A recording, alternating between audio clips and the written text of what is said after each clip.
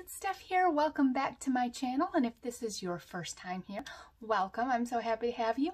Today we are going to just be doing like a quick little get ready with me. I'm going to talk about where the heck I've been for the last two weeks. I'll give you one clue. The word is migraine. And uh, we're also going to talk about why I paused my Ipsy Plus, my Ipsy Glam Bag Plus subscription for the month of November and why I'm thinking about possibly canceling it next month. So if that sounds interesting to you, just stick around. All right, guys, so we are just going to go ahead and get ready today like any other day. I am, I'm not going for like a glam look necessarily, um, but I do want to look kind of nice because I am doing a virtual audition for a play tonight. So I want to look put together. Um, I'm probably going to use a little bit heavier foundation today than a normal everyday just so that it looks good on camera. Um, and later today, I know I'm a couple days late, but I am planning on um, also filming my October favorites video, um, just kind of a short video with some products that I've really been loving. Um, I didn't get around to doing that at the end of the month like I had intended, unfortunately. So I'm just going to start off with my eyes. Um, now, I will say, I don't know how well my eyeshadow is going to go on. I haven't actually worn eyeshadow in a few days because for some reason I've had some, like, irritation on my eyelid. And I don't know if you can kind of see there, like, all that patchy dry skin. I don't know what happened, but, like, Saturday morning I woke up and it was all swollen and red and, like, um, really dry and stuff. And I don't know if there's like one of my facial serums or something I somehow got on my eyelid and it dried it out really bad, or if it's just like the weather shift and, um, you know, the weather changing and getting drier that it's making my skin dry out. But, um, so I've just been kind of like not wearing any makeup or anything or putting any product on my eyelids the last couple days to kind of let it like dry out. And I've been putting a little bit of like A, A and D ointment on it and that seems to be helping as well. So anyways, I'm going to go in with this e.l.f. Um, bite size eye quad and this is in the uh, cream and sugar is the color on this one. So I'm just going to go ahead and go into that first um, light shade and get started. I'll be using all four of these shades on my eyes today. So typically there I was um, being able to post like two three times a week um, and so and then I kind of got sidelined recently so um, the story is, so I have been a migraine sufferer for about nine or 10 years now. It started, I got my very first migraine when my son was like five months old. And uh, I didn't even know what it was at the time. And then it just continually and progressively got worse from there till I eventually talked to my doctor about it, who then sent me to a neurologist. And I had a bunch of tests done and yada, yada, yada. And I have gotten migraines since then.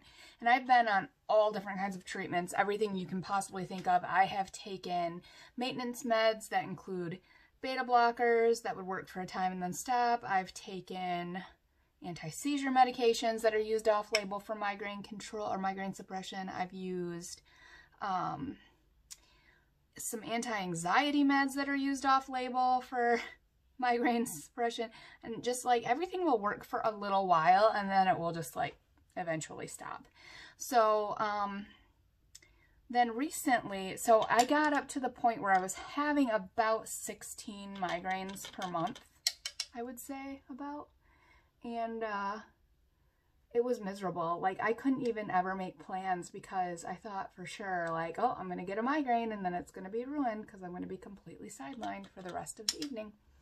Um, and so it really had a huge negative impact on my life. So I got, you know, I was up to about 16, like I said, migraines per month.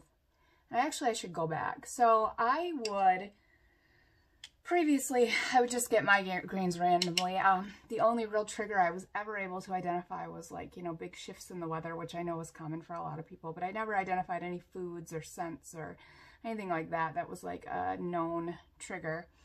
Um, and so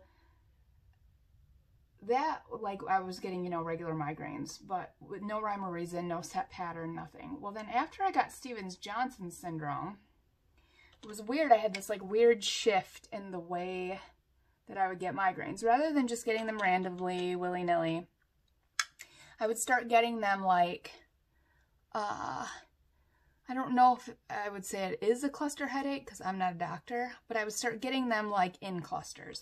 So I would not have a migraine for like six, eight weeks, and then I would get them back to back to back like eight days in a row, five days in a row, sometimes two weeks straight, um, where I would just get them day after day after day. And then, you know, I have a rescue med that I take, which is called, um,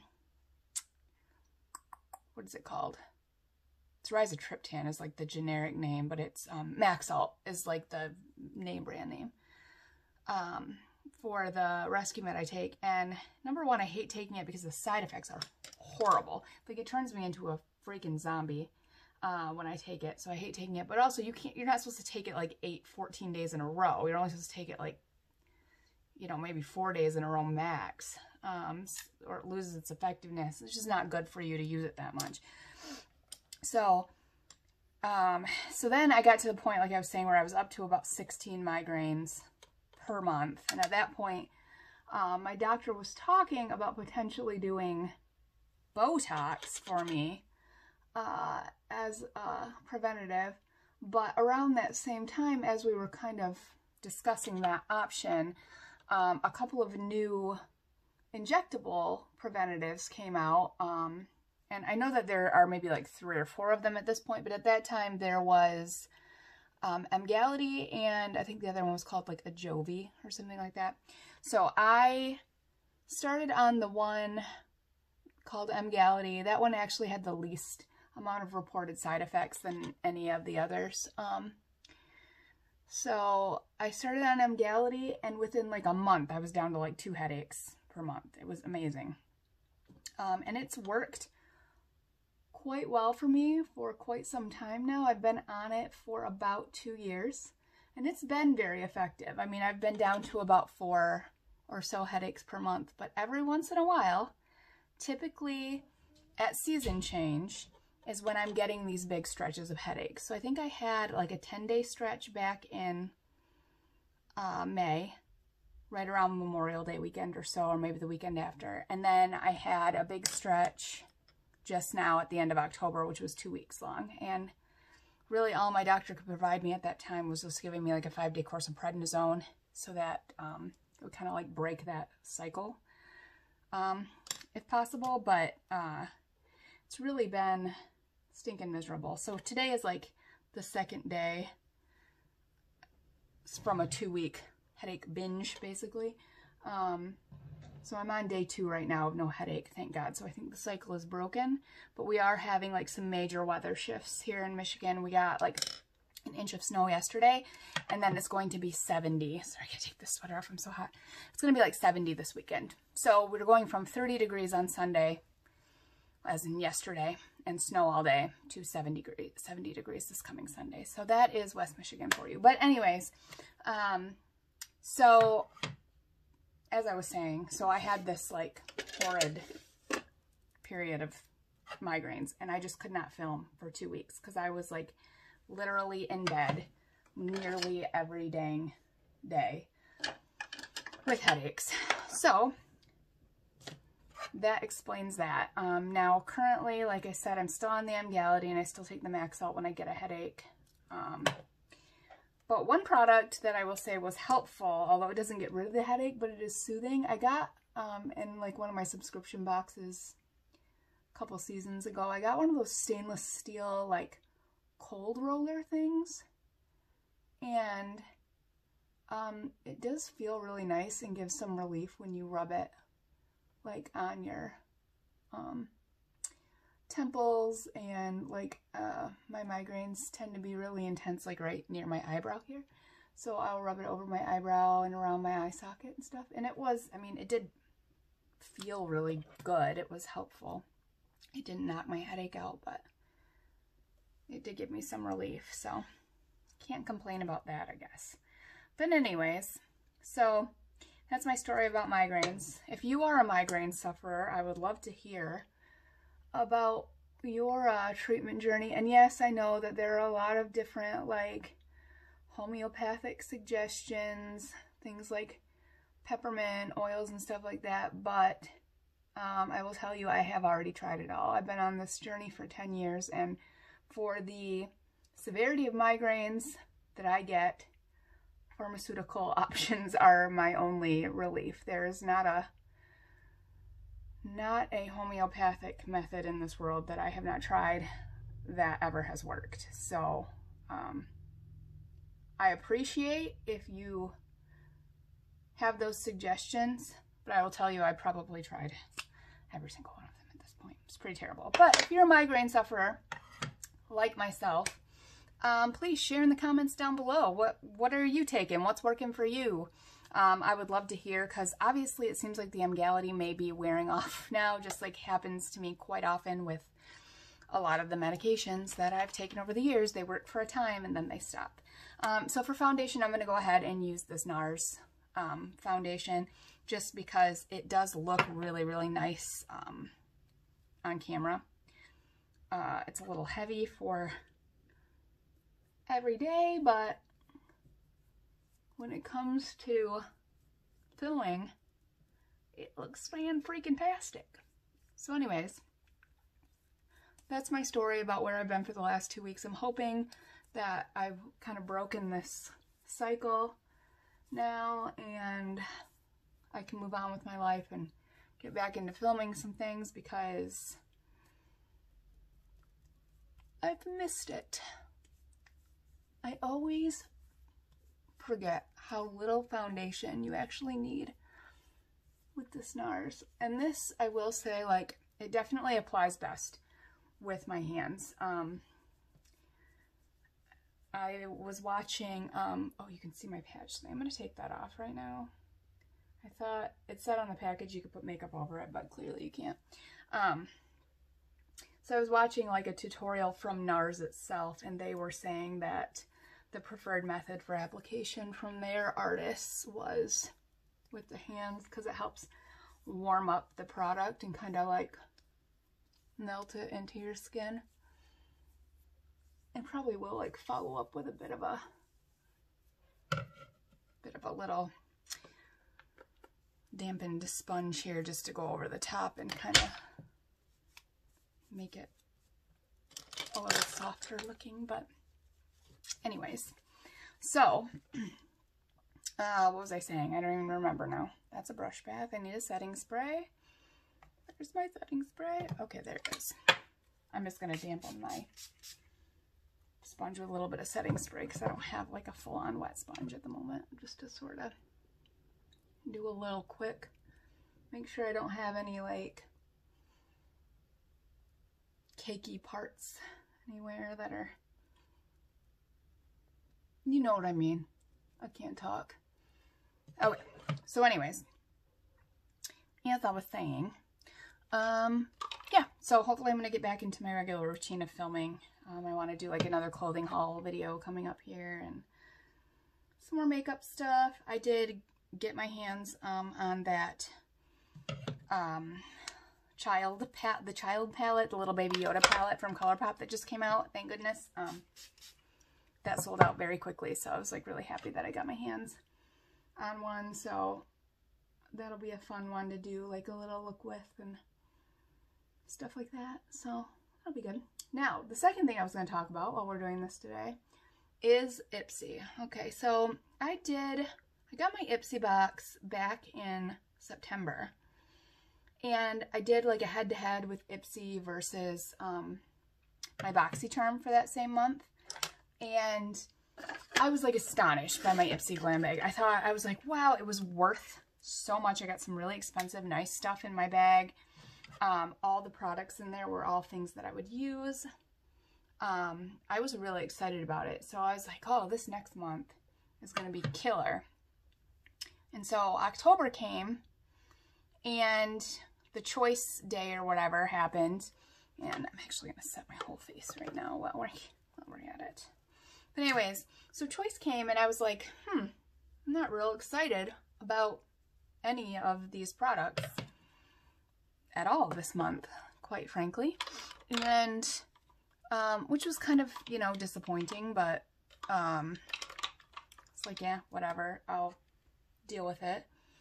Um, you know, you can't win them all. It's a, it's a subscription box, ultimately, um, you know, so it's not always going to be like, um, complete win every time. But the one thing I was super, super excited about was they had as part of their add-on sale this guasha stone and I had seen, I think it was Jen Phelps, did something with a, a guasha stone um, or she had gotten a guasha stone and she did kind of like some before and after pics and I felt like um, there was really like a big difference um, in kind of the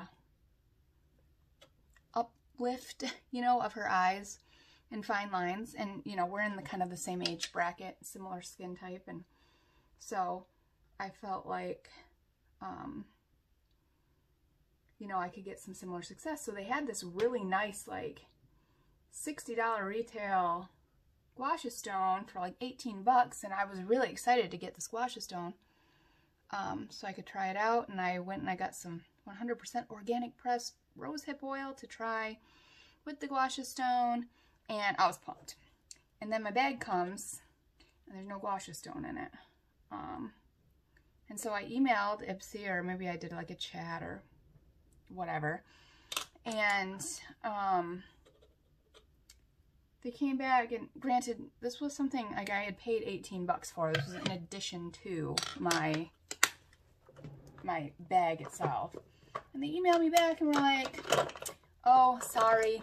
We realize you paid for it. That's out of stock, so you can't get it anymore. So we're just going to give you a credit on your account. Not even a refund, but a credit of $18 to use on future or whatever. And I thought that was kind of lame. Like, they should have just refunded me if they couldn't provide the product.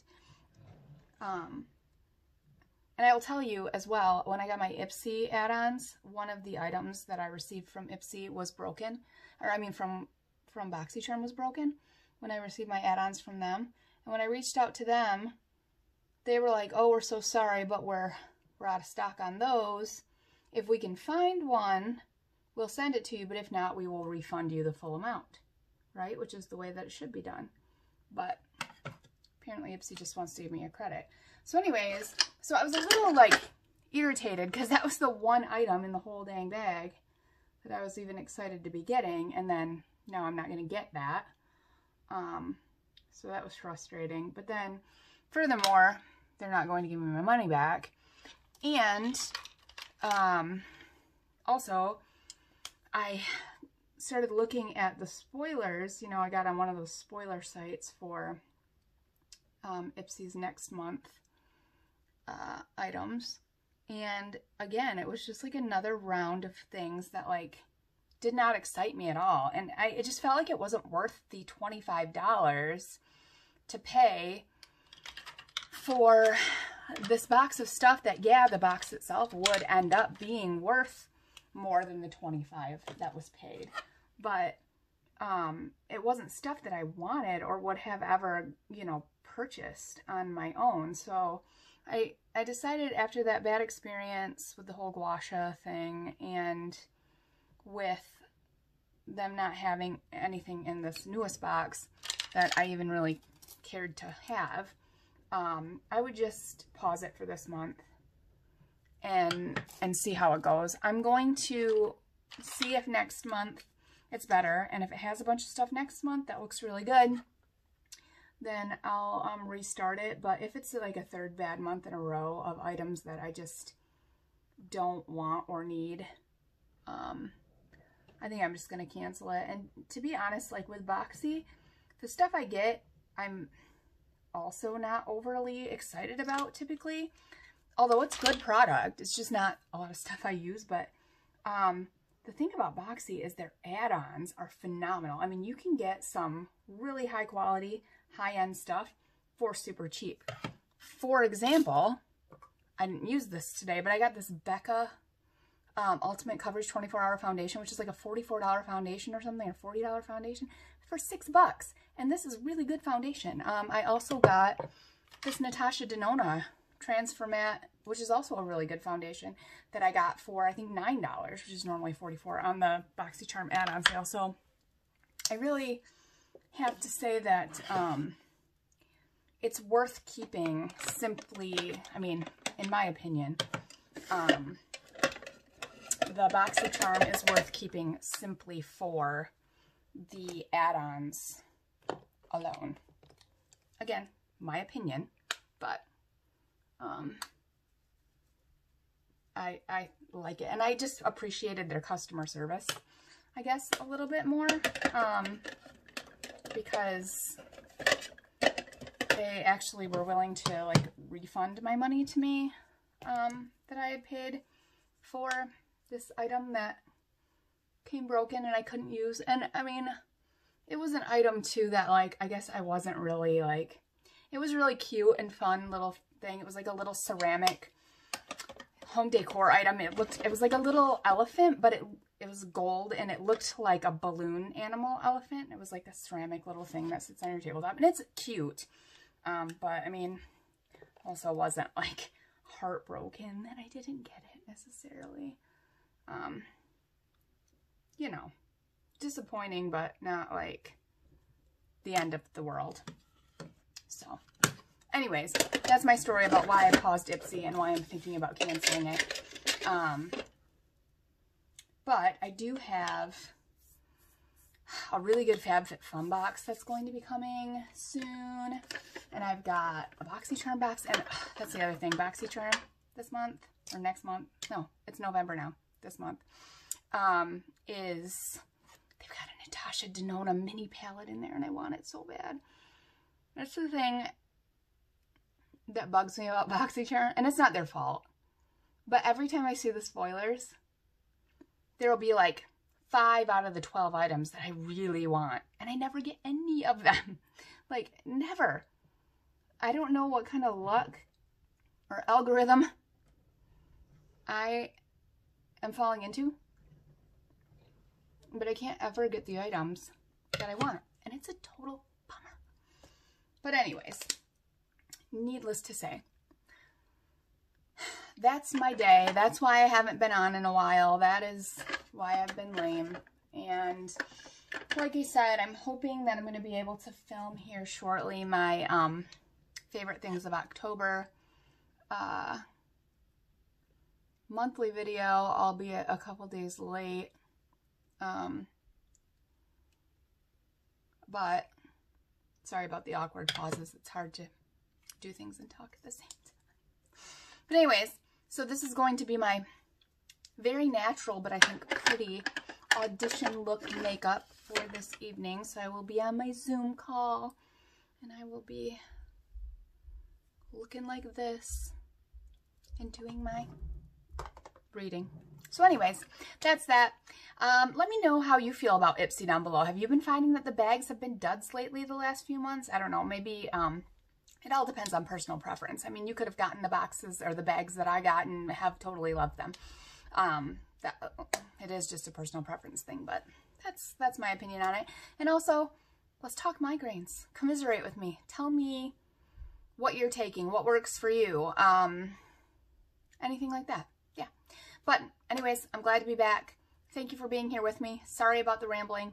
Um, and stay tuned for that favorites video because hopefully it will be coming up later today.